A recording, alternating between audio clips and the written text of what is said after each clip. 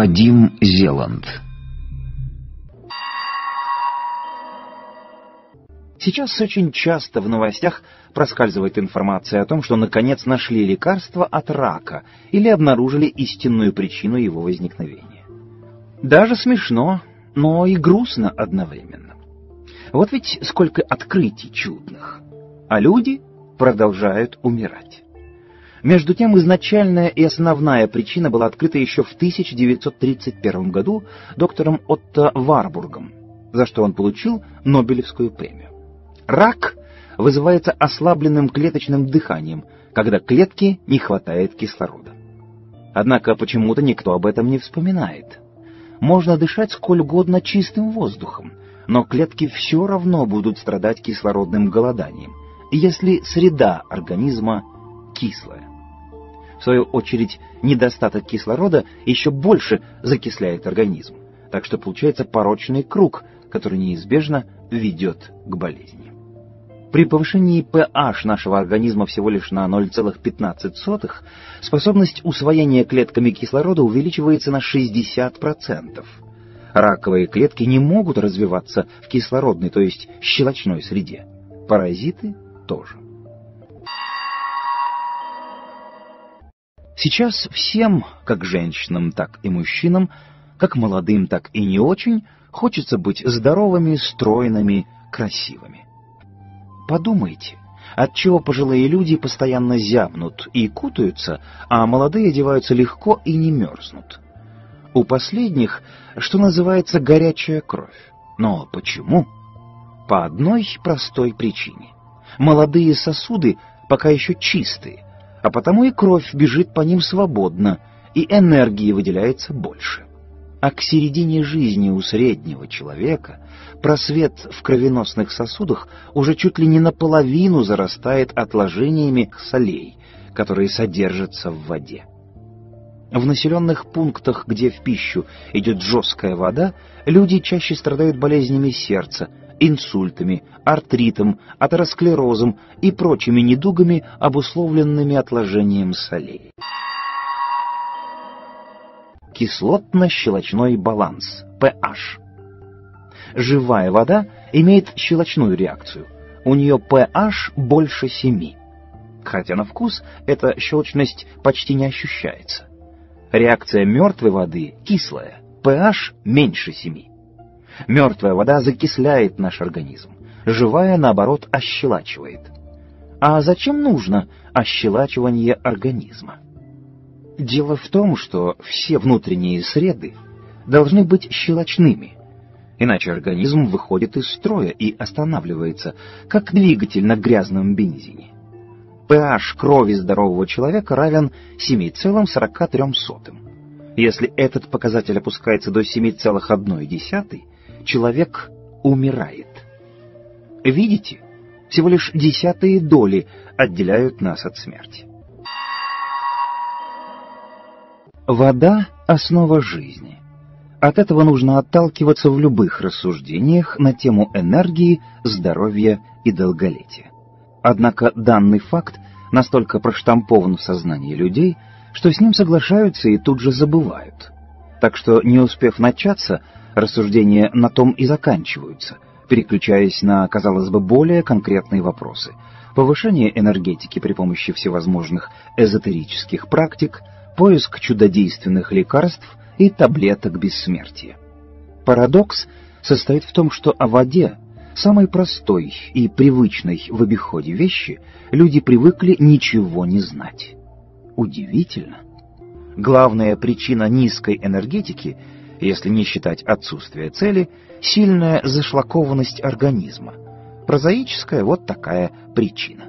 Чтобы обрести душевные силы, нужно увлечь душу, найти свою цель. Но в то же время, если вы во власти апатии, цель отыскать не удастся. Получается замкнутый круг. Для пробуждения сил нужны силы. Вот поэтому я и предлагаю вам простой и естественный путь высвобождения энергии, которая чуть ли не полностью задействована на поддержание жизнеспособности. Здесь я расскажу о свойствах воды – насколько простых и очевидных, настолько и шокирующих для тех, кто ничего об этом не слышал, но не хотел бы скоропостижно состариться и попросту сдохнуть. Буду называть вещи своими именами, потому что самая постыдная и глупая смерть от невежества. Теперь очень важный вопрос. Какую воду следует пить? Обычная водопроводная вода для этого не годится. Она чисто техническая. Ею можно мыть пол, машину, унитаз, но никак не пить. Вода, которая течет из крана, мертвая. Это просто химическое вещество, которое плохо усваивается клетками организма. Организм стареет, когда вода покидает его клетки. А почему она их покидает? Одна из причин в том, что воду вслед за энергией высасывают из клеток свободные радикалы, как насосом. Свободные радикалы — это молекулы-вампиры, они положительно заряженные, неполноценные и зверски голодные, поскольку им недостает свободного электрона. Эти вампиры ищут, где бы урвать свободный электрон, а вырывают они его из беззащитной клетки. В результате клетка теряет энергию, жизненную силу, со всеми вытекающими последствиями. Свободные радикалы – одна из главных причин старения организма. Антиоксиданты – это, напротив, отрицательно заряженные молекулы, которые несут свободный электрон. Такие молекулы – доноры, они нейтрализуют свободные радикалы. А молоды вы настолько, насколько еще держится заряд в ваших аккумуляторах, клетках. Есть у воды такое свойство – окислительно-восстановительный потенциал, ОВП, который измеряется в милливольтах. Живая вода имеет отрицательный заряд, что свидетельствует о наличии в ней свободных электронов. В мертвой воде, напротив, наблюдается нехватка электронов, а потому заряд у нее положительный. Американский ученый Леонард Хайфлик открыл, что клетки организма могут делиться только ограниченное число раз, около 50, после чего просто умирают. Лимит Хайфлика зависит от теломер, концевых участков ДНК. При каждом делении клетки теломер укорачиваются. После определенного количества таких делений теломеры уменьшаются до предела, после которого дальнейшее деление невозможно. Клетка умирает. Но это еще не все. Главный вывод, к которому пришли в ходе многочисленных экспериментов, состоит в том, что основной причиной уменьшения длины теломеров, помимо деления клеток, является воздействие свободных радикалов. Другими словами, организм не успевает прожить положенный ему срок, потому что человек с рождения целенаправленно убивает себя мертвой пищей.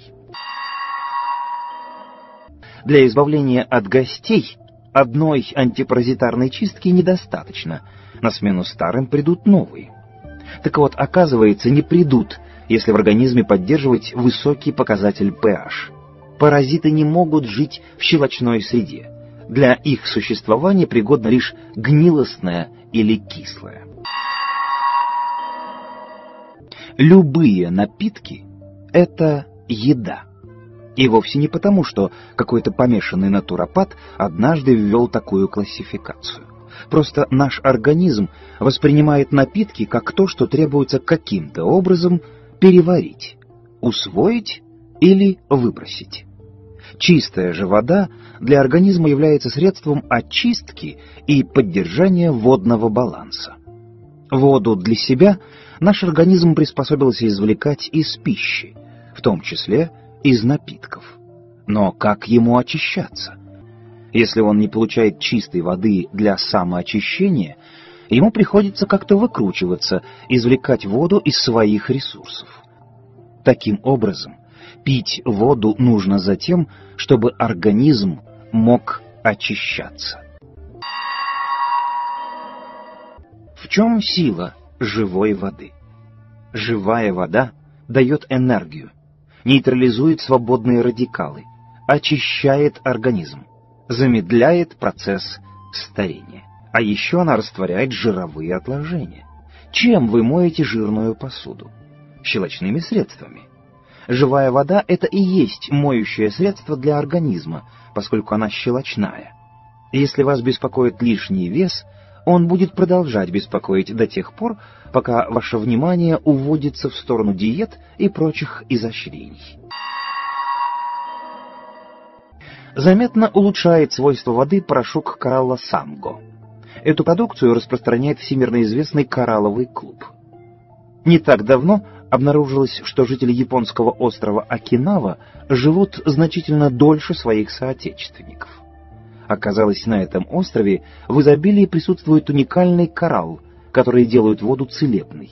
pH повышается, ОВП уходит в отрицательную область, улучшается структура воды.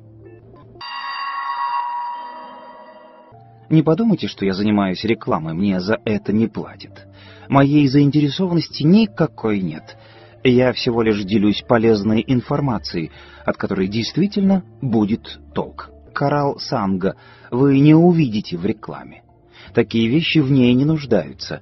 Они распространяются по другому принципу, из уст в уста, от людей, которые испытали их на своем опыте. Я вам тоже передаю свой опыт. Вы можете прочитать гору литературы по чудодейственным методам избавления от болезней. Но так и будете всю жизнь лечиться. Все зависит от цели. Если цель — лечение, оно не кончится никогда. Если цель — здоровье, оно будет у вас уже очень скоро. Поэтому моя задача состоит не в том, чтобы помочь вам избавиться от каких-то болезней а в том, чтобы ориентировать ваше намерение на изначальное здоровье, присущее самой природе организма. Я не медик и не обладаю обширными знаниями о лечении болезней.